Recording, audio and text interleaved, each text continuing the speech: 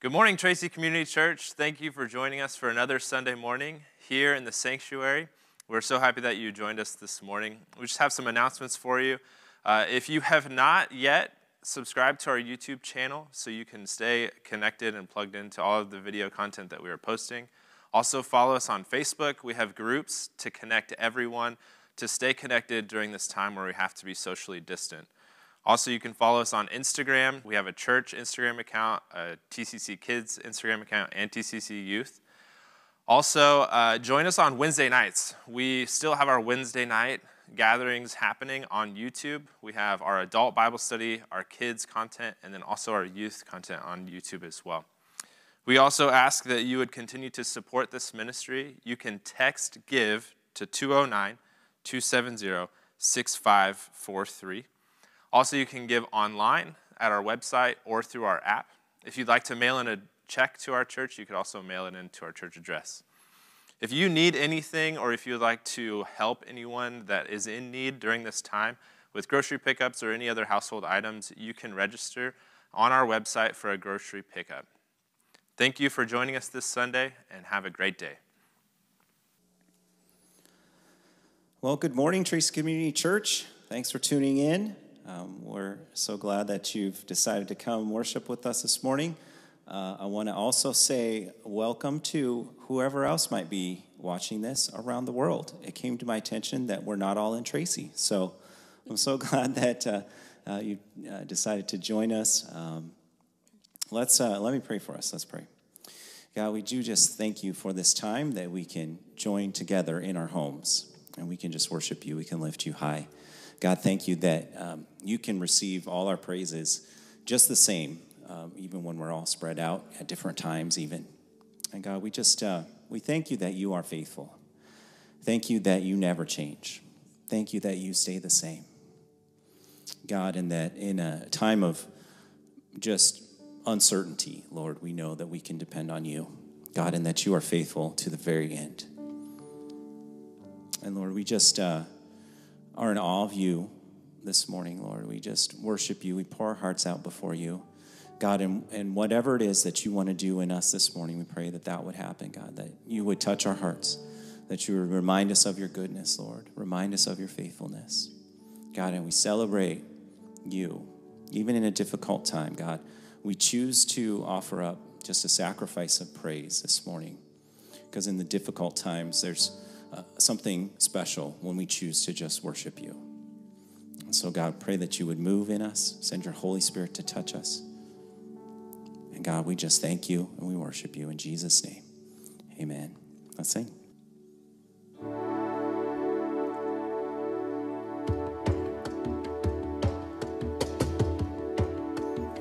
Here we go.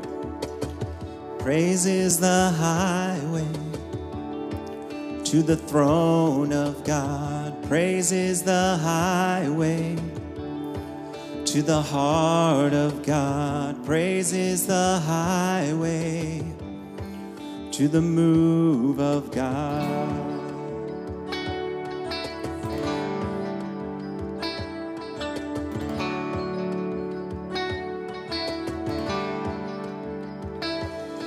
The rocks will cry the oceans will roar, the mountains will bow to the name of the Lord. He is our God. He will be praised. The idols will fall. The strongholds will break. Every weapon that forms will shatter and fail. He is our God. He is our faith. Praise is the highway to the throne of God. Praise is the highway to the heart of God. Praise is the highway to the move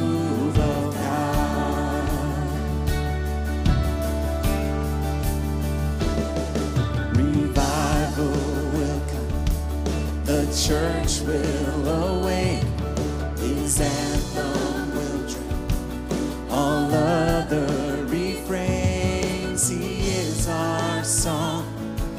He forever reigns. Praise is the highway to the throne of God. Praise is the highway to the heart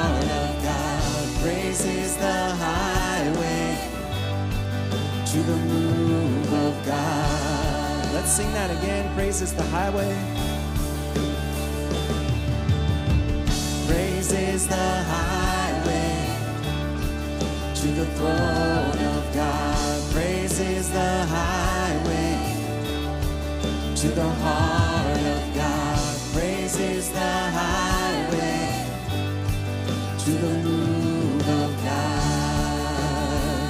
Sing it out, lift up your head. Oh, lift up your head, fling wide the gates, break down the walls with a shout of praise.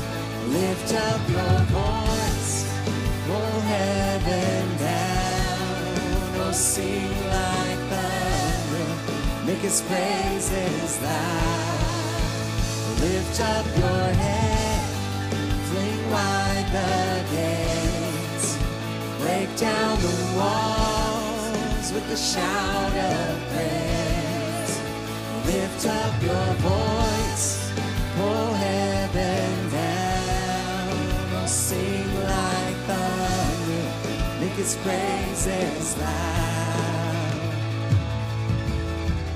Praise is the highway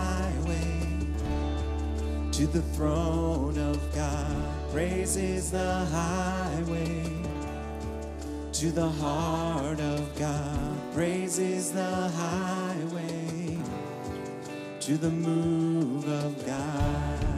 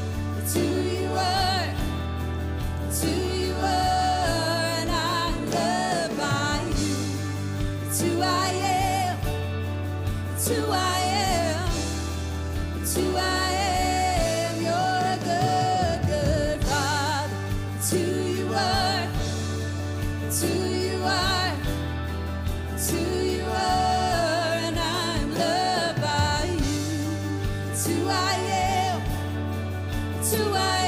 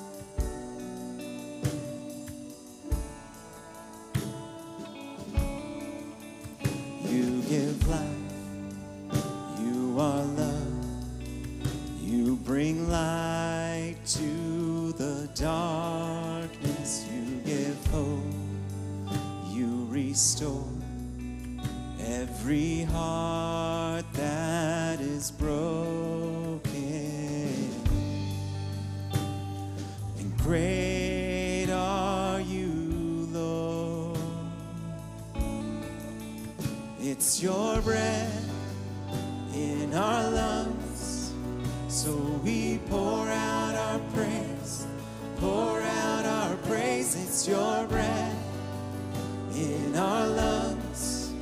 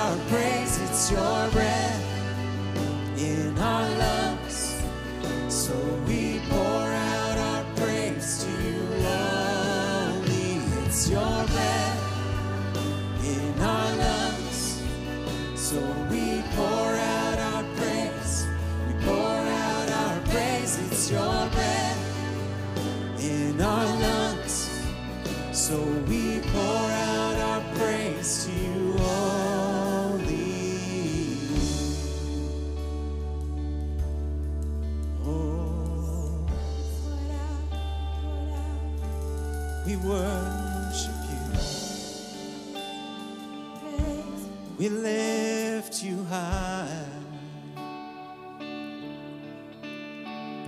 And all the earth will shout your praise.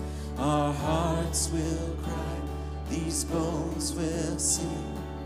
Great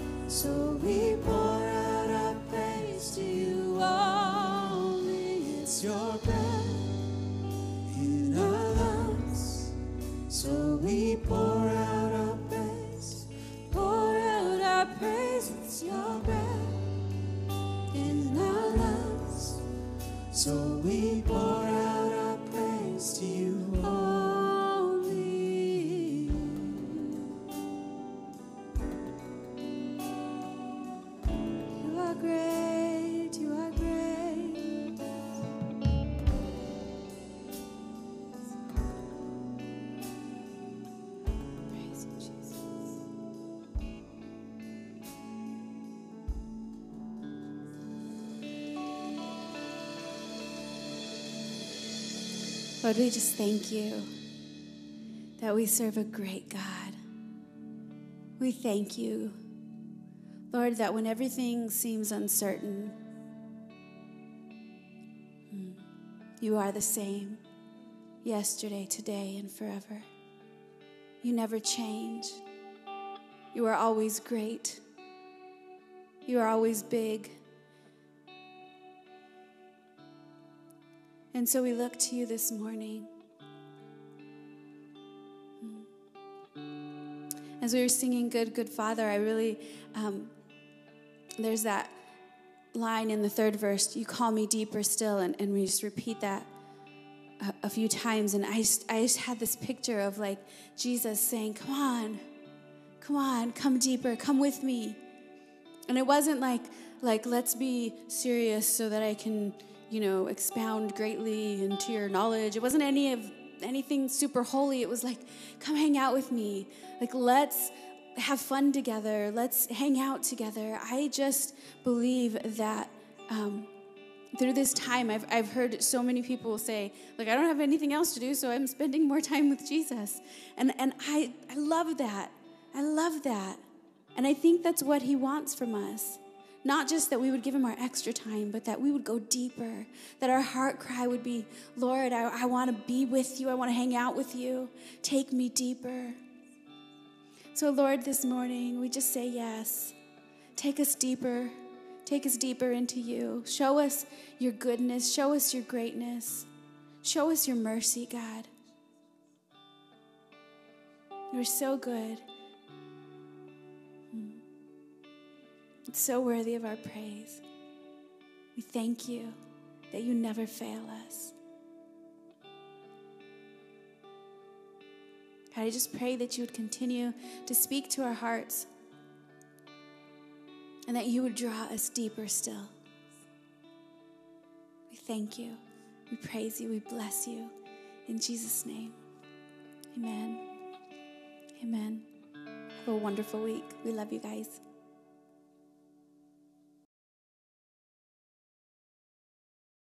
Good morning, Tracy Community Church. It's Pastor Sam. I am so glad that you chose to hang out with us this morning. Man, I know that we can't all be together in the same building, but what I do know is this is I know that God is with us no matter where we're at. I know that God is with me here this morning in this building, and I also know that God is with you wherever you're at, whether you're in your living room, whether you're in your bed, maybe you're sitting at the dining room table having some breakfast while you're watching this. I know that God is always present with us. And so this morning we're going to jump right into it. We're going to be in the book of Second Chronicles, chapter 20. Let me kind of set this up. The, the, the main character in our story is a guy by the name of King Jehoshaphat. Now, Jehoshaphat was the king of the southern kingdom of Judah at this time, and he was actually a good king. He was a great king. Now, just because he was a great king doesn't mean that he always made the right choices, doesn't mean he always made the right decisions. One instance we read about is actually found in chapter 18, a few, a few chapters before 20. And what we see is that he actually allied himself or lined himself up with a guy by the name of King Ahab. Now, you'll remember Ahab. Ahab was the king who had the uh, confrontation with Elijah. Now, remember, Elijah went to the king and said, Because of your wickedness, that it wasn't going to rain for a while, and it didn't. And then Elijah called the prophets of Baal and had the big um, um, encounter, big battle up on top of Mount Carmel. This is the same Ahab, the same King Ahab, now that Jehoshaphat has aligned himself with. And it tells us in chapter 18 that, that they actually went to battle together against another nation. And what the problem was is Jehoshaphat, instead of um, listening to the prophet from God, um, he chose to follow Ahab and his prophets. And so they go into battle together, and, and, and it wasn't a good decision for either one of them. Actually, in the battle, Ahab ended up losing his life. And in the middle of this battle, what we see is that, that Jehoshaphat actually found himself completely surrounded by the armies. And in that moment, they were about to kill him. And it says in chapter 18 that, that in that moment, that, that uh, Jehoshaphat cried out to God. And in that moment, God heard his cry and delivered him from that moment. And man, I think about that, and, and, and I'm so thankful that, you know, sometimes we make some really poor choices and really bad decisions, and we find ourselves in situations we find ourselves in different battles because of the choices and decisions that we make. But I'm thankful that we serve a God who, who even when it's my fault, when I make poor choices, that when I cry out to God, God still hears me and God can still save us. And you know, sometimes we do find ourselves in those moments because of things that we do, because of choices that we make. But you know, sometimes we, we end up finding ourselves in these battles or these struggles, and man, we didn't do anything wrong. It wasn't a choice that we made. It, it wasn't a decision that we made that caused it. It wasn't even something that maybe we even anticipated. But what I do know is this, and here's before we jump in the story, here's what I want you to hear is that no matter where you find yourself, whether it's a choice that you made that caused this or, or you just found yourself in the middle of this battle, what I want you to hear today is this is that God is never caught off guard. No matter what battle you go through, whether you caused it or it just showed up on your doorstep, God is going to use that thing and He will use it to develop and He will use it to grow you into who He has called you to be. God always has a plan through everything. God is always setting you up for something greater. Romans 8:28 reminds us that, that God uses all things to work together for the good of those who love him and those who are called according to his purposes.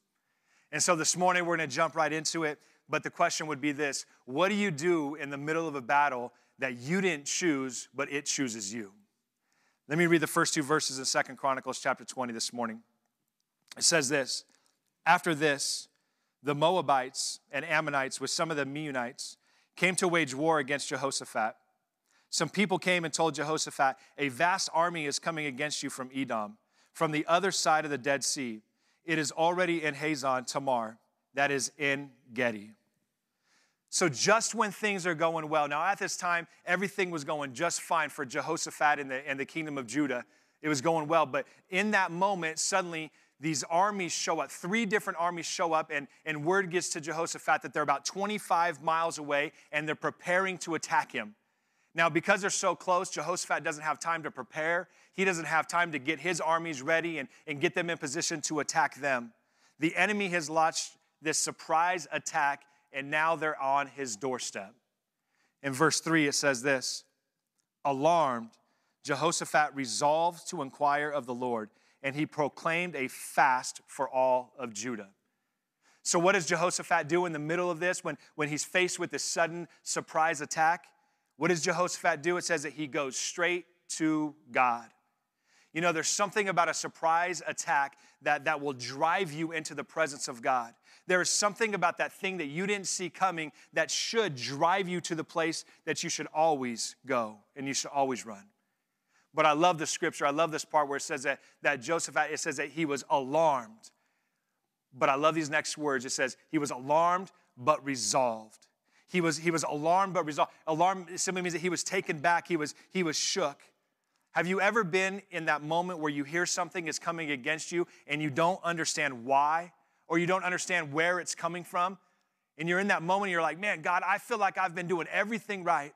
I've been serving you. I, have been faithful. I, have been reading. I've been praying. I, I, felt like I was, I, was, I was raising my kids the right way. I was, I was doing everything I thought was right, God. And now this shows up. Now, now here I am, God, and, and this shows up on my doorstep.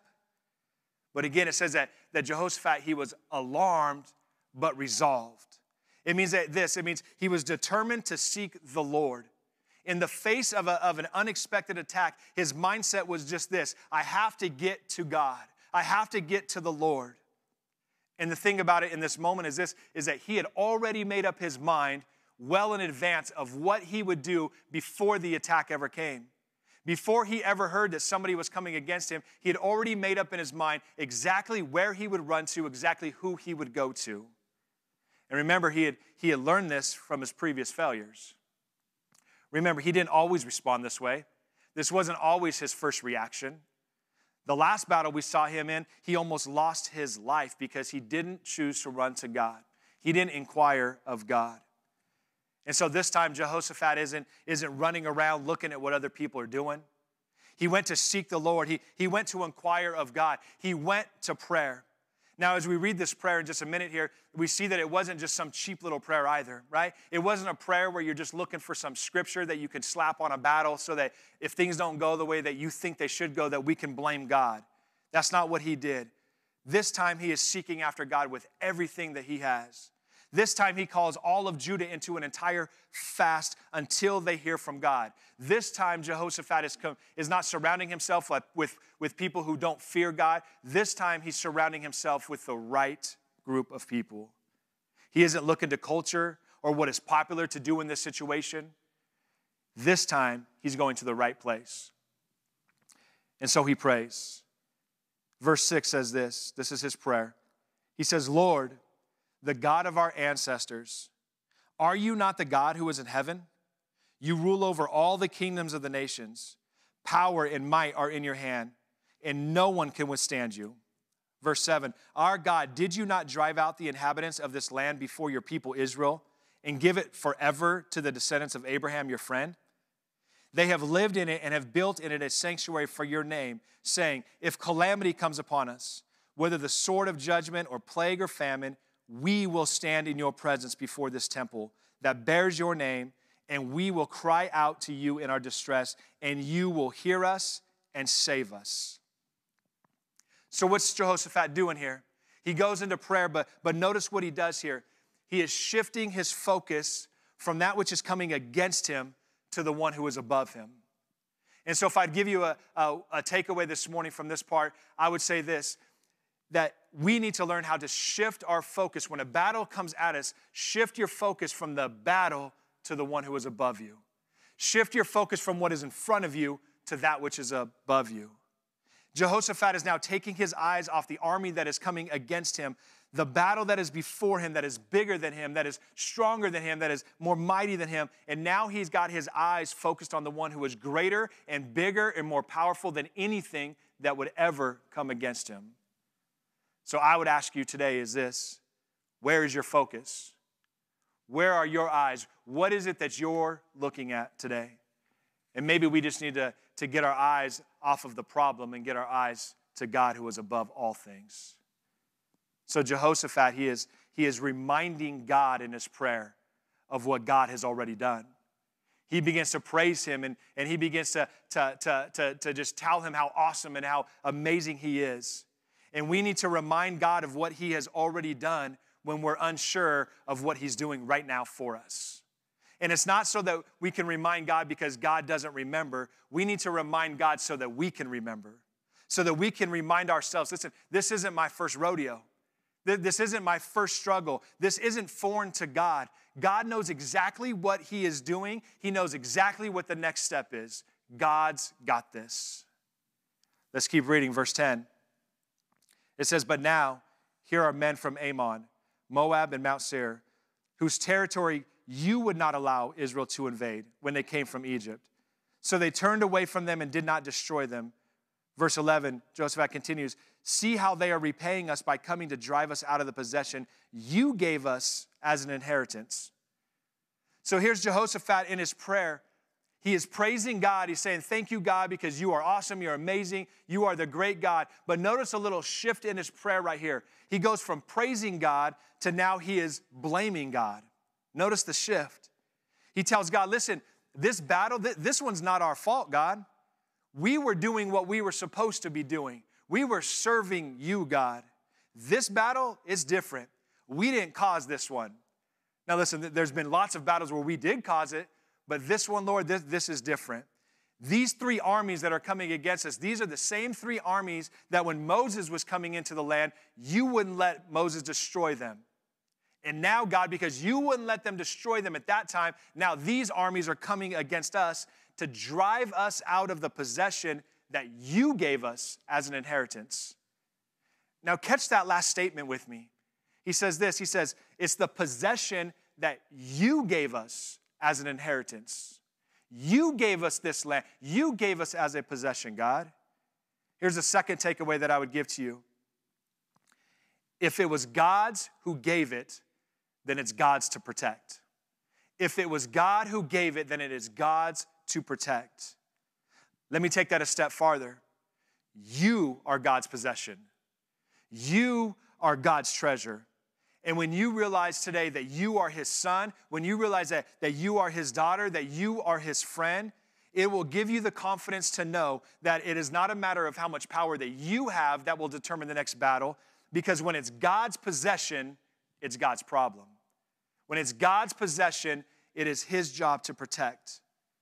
And today, if you are stewarding something that, that He gave you to possess, remember it's God's job to protect. Your family, your children, they are all God's possession. They are all His. You know, my wife and I, we have, we have four boys. And every single one of them, when they were born, just after that, we, we took them back to church. And, and, and when we were first back, we took all four of them, one by one, and we, and we dedicated them to the Lord. Now, what were we doing in that moment? In that moment, what we were saying is this God, we know that you gave them to us to steward, but Lord, we know that they belong to you, that they are your possession, that they are your children, God. And we just want to do our best to steward them and guide them in that direction, Lord. And so, I have to be honest with you, there's been lots of times as we begin to, ra- as we're raising our, our children, that man, I forget this. I forget this. And, and as they're, they, they, they, they go places and do things, I begin to freak out. Man, I get scared, I get nervous, and, and, I, and I panic sometimes. And, and lately, God has just been reminding me listen, you gave them to me, they are my possession. And sometimes when I'm not with them, I, you know, as a parent, you start freaking out and you start thinking of all the worst case scenarios. And you, because you can't always be there with them. But the thing with God and the thing that He constantly is reminding me is this that He can always be with them. That no matter where they go, that He can always be with them. Why? Why would He do this? Because they're His possession. They're His. Let's keep going, verse 12. Jehoshaphat continues in his prayer. He says this He says, Our God, will you not judge them? For we have no power to face this vast army that is attacking us. We do not know what to do, but our eyes are on you. Man, what an absolute powerful statement this is. Man, sometimes we don't like to admit it, but, but sometimes the best place in any battle that you go through, sometimes the best place in the middle of a battle is when you get to that place where you can honestly say, you know what? I have no idea what to do. I am at a complete loss in this moment. I have no idea what to do. It is in that moment when you take your hands off the battle and when you go to God and you allow God to do what only God can do. And God says, Listen, if you will just change your focus, I will show you how to fight this battle. Stop looking at how big the army is. Stop looking at how, how bleak the situation looks. Stop looking at how impossible everybody says it is. Stop looking at that and re- begin to remind yourself how big, how great God is. And the thing with God is this God always wins. God always wins. Verse 13, it says this All the men of Judah, with their wives and children and little ones, stood before the Lord. Verse 14, then the Spirit of the Lord came on Jahaziel, son of Zechariah, son of Benani, the son of Jeiel, the son of Mattaniah, a Levite and descendant of Asaph, as he stood in the assembly. Now, let me stop right there for a minute because why mention all of these names here? Why go through all of these different generations? It's important because every, um, every name that is mentioned represents a certain generation where God was faithful. It means that every single time that God got ready to pass on his purpose to the next generation, that God never dropped it that God never forgot about his promises. And here's the thing God won't drop it now. God won't forget about the things that he spoke to you. It won't stop with you, and you will not lose this battle if your focus is right. If you don't lose your focus, you won't lose this battle. And some of you are listening right now, and this morning you're already at that point, man, where you have hit the panic button. You've to freak out and you're in that place where you feel like you have tried absolutely everything, and you're in that moment where you feel like maybe you feel like just a complete failure because you think that you did something wrong, and you're trying to, you're pounding your brain and you're thinking, God, what did I do? I know I had to do something because there's, there's no way this happened. I, I don't understand what's going on. I don't get it, Lord. And you're doing everything you can to try to fix it. You're trying to figure it out, and nothing is working. And you're panicking. And you need to hear this right now. God is not freaking out. God knows exactly what the next move is. You know, we just celebrated Easter last week. We know how the story ends. We, we know what Sunday looks like. And here's the thing if, if we can begin to learn to live our life from the perspective of Sunday, that when, so that when we go through Friday, listen, Friday always comes before Sunday.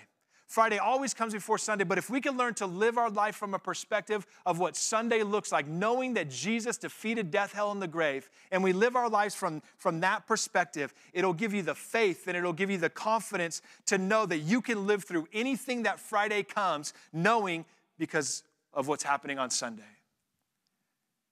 God doesn't know how to fail, and God can't lose. Let's keep going, verse 15. He said, Listen, King Jehoshaphat, this is Jahaziel uh, uh, speaking now. He says, Listen, Jehoshaphat, and all who live in Judah and Jerusalem. Now, someone needs to hear this today. This is what the Lord says to you Do not be afraid or discouraged because of this vast army, for the battle is not yours, but God's. For the battle is not yours, but God's. Can we just make that our reminder this week? Can we just put that in every single room of our house so that every time we turn the corner, we see this? Can you remind ourselves that the battle is not yours, but God's? The prophet, the prophet is telling Jehoshaphat, listen, this thing isn't even about you. It is so much bigger than you. This battle is God's battle to fight. God has a bigger plan, but you just can't see it right now. But God knows what He's doing. Here's a third thing that I would give to you I would say this if the battle is too big, then it doesn't belong to you. If it's too big, then the battle doesn't belong to you. And if, and if you know that it's God's, then stop stressing like it's yours. Stop, stop worrying like it's yours. Can we stop wasting all of our energy stressing about the battle and worrying about the battle? And can we just give it back to God and just remind God, listen, God, you are amazing, and I don't know what I'm doing here, and so I'm giving it back to you, Lord. Verse 16 says, Tomorrow march down against them. They will be climbing up by the pass of Ziz, and you will find them at the end of the gorge in the desert of Jeruel. Verse 17 says, You will not have to fight this battle. Take up your positions, stand firm, and see the deliverance of the Lord will give you. Judah and Jerusalem, don't be afraid. Do not be discouraged. Go out and face them tomorrow, and the Lord will be with you. And as I read these two verses right here, as I was studying this, these, through, these two verses kind of caught me off guard. I was thinking, wait a second. Lord, you just said that this isn't their battle, that, that they don't have to fight. And the question that I would ask is if I don't have to fight it, then, then why do I have to get in position to fight? Why do I need to get into that position? And see, here's what, here's what the kingdom of Judah is about to learn. They're about to learn that this battle is not theirs, but God's. But you still have to go down to them. You still have to go down to where the battle is and confront it. So God tells them, listen, I need you to get into position, not so that you can fight, not so that you can struggle, but so that you can see the deliverance of the Lord, so that you can be a witness to watch what God is about to do in your life. Verse 21, he says, After consulting the people, Jehoshaphat appointed men to sing to the Lord and to praise him for the splendor of his holiness. As they went out, the head of the army saying, Give thanks to the Lord, for his love endures forever. Give thanks to the Lord, for his love endures forever. Verse 22, it says, As they began to sing and praise, the Lord set ambushes against the men of Ammon and Moab and Mount Seir, who were invading Judah, and they were defeated. The Ammonites and the Moabites rose up against the men from Mount Seir to destroy and annihilate them. And after they finished slaughtering the men from Seir, they went and they, they helped to destroy one another. Now, what an absolutely amazing story.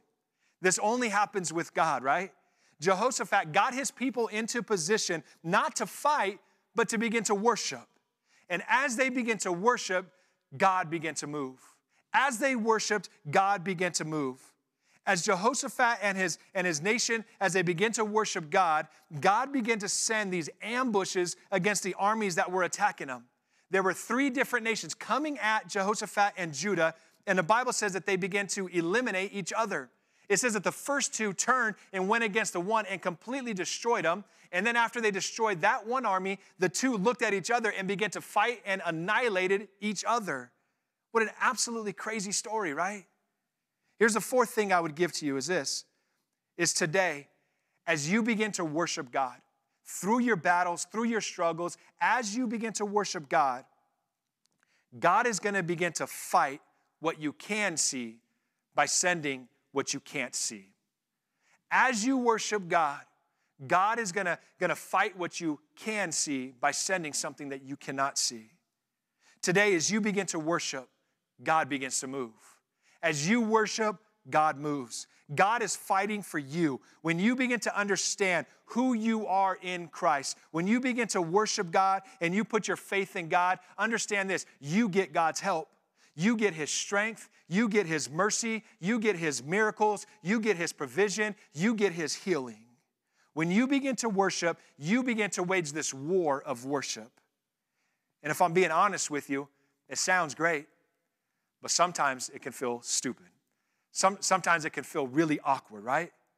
Here comes the enemy. They're, they're, they're 25 miles away. They're coming at you. And Jehoshaphat, what are you going to do? They're, they're standing at your doorstep, they're, they're knocking on the door. They're attacking your family. They're, they're coming after your kids. Jehoshaphat, what are you going to do about it? And see, Jehoshaphat didn't have to fight it, but he did have to face it. And today, God wants to give you the faith to face it.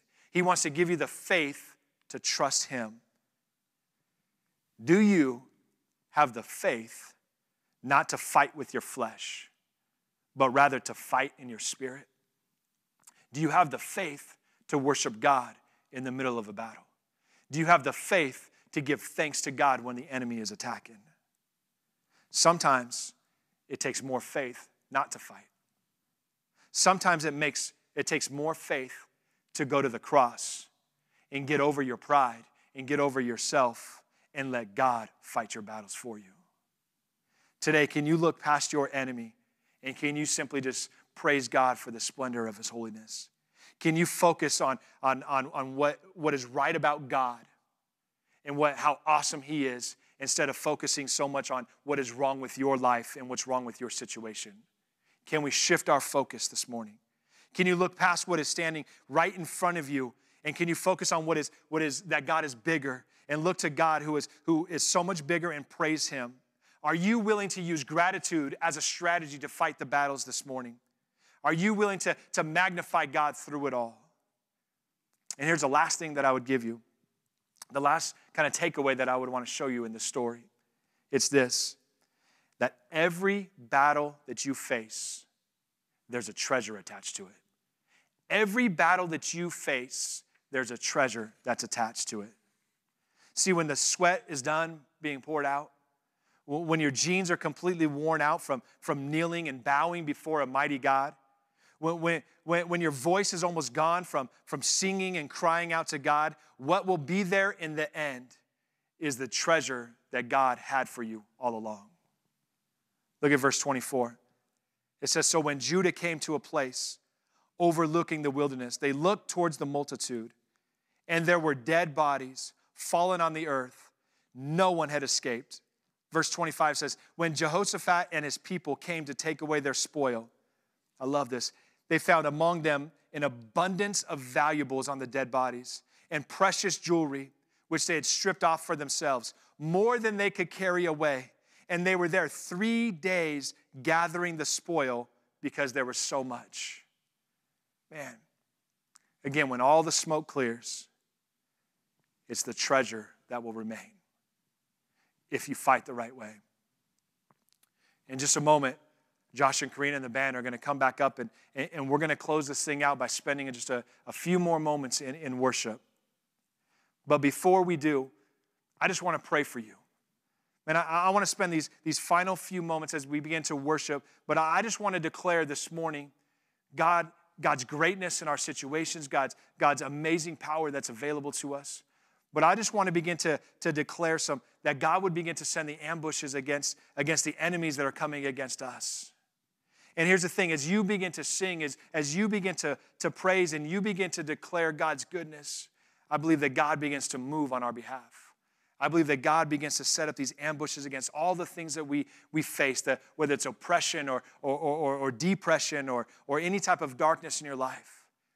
Those things that are coming against our families, trying to break them up, those, those things that are attacking our children that, that we can't do anything about, that, that, that we have no answers for, where we find ourselves in those moments where it's like, God, I, I have no idea what to do anymore. I believe that God begins to do things, things that we can't see, to, to destroy the things that we can't see that are coming against us. And so I want to pray for you this morning. And, and I believe that God is going to use everything that comes against us, everything that was meant for evil, God is going to use to create a cross, to, to, to create a space for, the resurrect, for a resurrection for the glory of the Lord. Let me pray for you. Dear Father, we just, we just stop in this moment, Lord. And, and God, I just want to say thank you. Uh, thank you so much for everything that you're doing in our lives right now, God. You are so great and you are, you are so mighty and you are so powerful, God. And, and I'm so thankful, Lord, that you know exactly what you're doing. God, when, when we don't know, when we, can't, when we can't see everything that you're doing, Lord, we're thankful, God, that you have everything under control.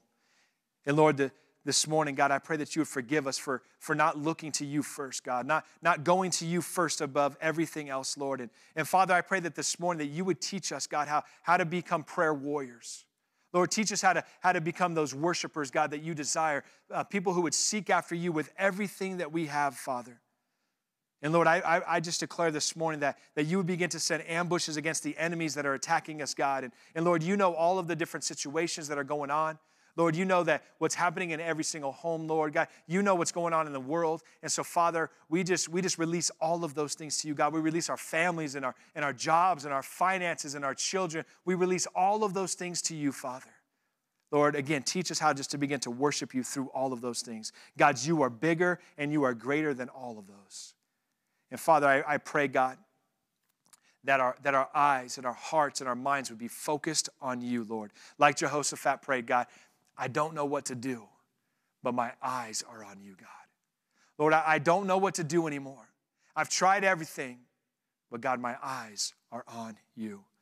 Lord, your word says that you are the author and the finisher of our faith, God.